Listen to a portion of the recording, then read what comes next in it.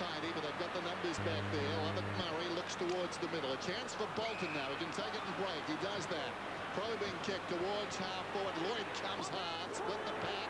Hird gets the crumb. 40 metres out and closing. Need you ask. Well, what about that?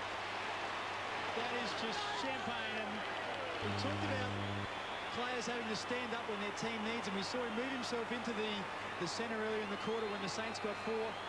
And this is a great effort by Lloyd. Really split that pack. James Hird steps to the plate, picks it up beautifully, and then just slots it home. And that just lifts the Bombers so much just before three-quarter time. They've now got some real momentum, and they're a massive chance here. Quarter time, and haven't they hit back hard? Here's Stanton over the top. Now Rioli a chance from here. Gives it off instead. Cupido even a better chance. Closing.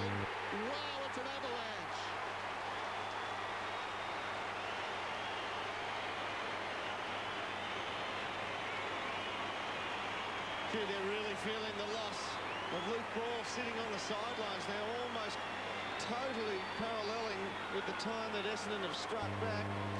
Luke Ball sits on the and they are getting chopped up through the middle of the ground now. There's not as much pressure and the amount of Essendon players free running